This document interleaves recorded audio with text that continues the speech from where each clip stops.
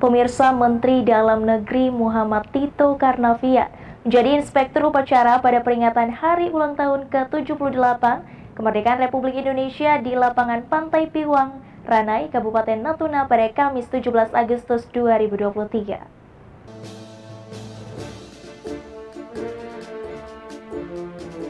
Upacara peringatan Hari Kemerdekaan Republik Indonesia ke-78 ini menjadi istimewa karena dilaksanakan di Natuna, yang merupakan salah satu kabupaten terdepan di Indonesia sebagai gerbang utama NKRI.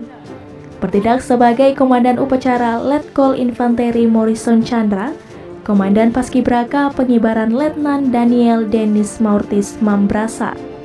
Selain itu, putra-putri terbaik yang telah terpilih dan diberikan kepercayaan mengemban tugas yang mulia mengibarkan bendera merah putih dan mendapatkan posisi sebagai berikut. Komandan Pasukan 17 Sakti Zalihandra, Komandan Pasukan 8 Salsa Nabila, Pembawa bagi pengibaran Ya Cinta Putri Malaya, Pegerek bendera M. Robert Aziz Alwafi, Pembentang bendera Miski Dwi Murti, Pengulur bendera Raffi Kahar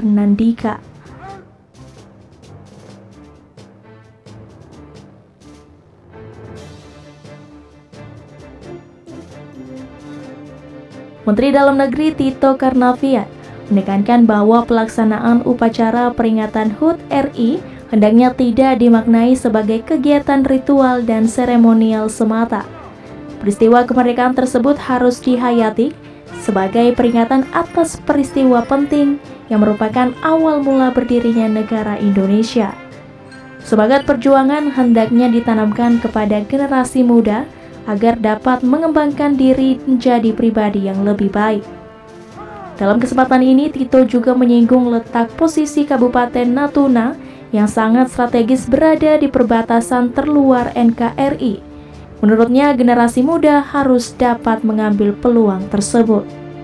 Tito berharap Natuna sebagai daerah terdepan, terluar, dan terpencil di Indonesia dapat menjadi daerah yang diprioritaskan.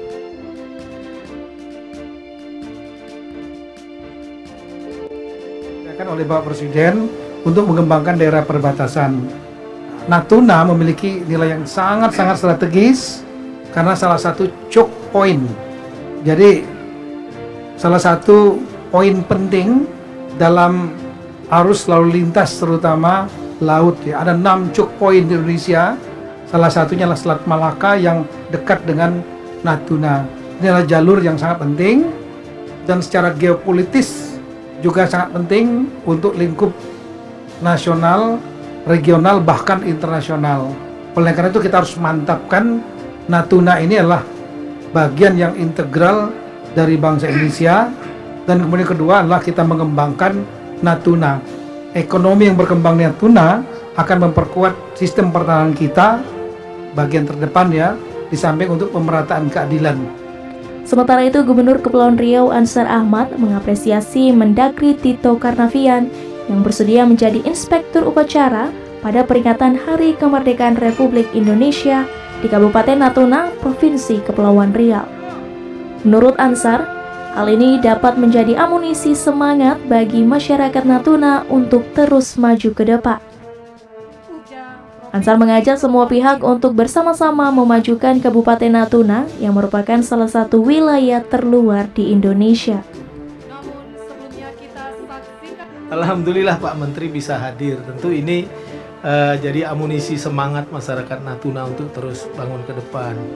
Nah, uh, makanya kita akan dorong terus Natuna karena memang konsep kita adalah selain wilayah-wilayah perbatasan ini harus kita bangun dengan pendekatan security approach, kita juga perlu mengedepankan yang namanya prosperity approach.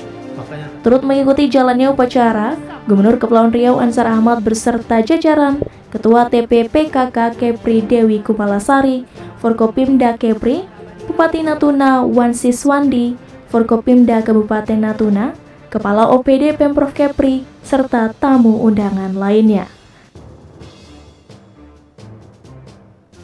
Diri Nugraha melaporkan dari Natuna.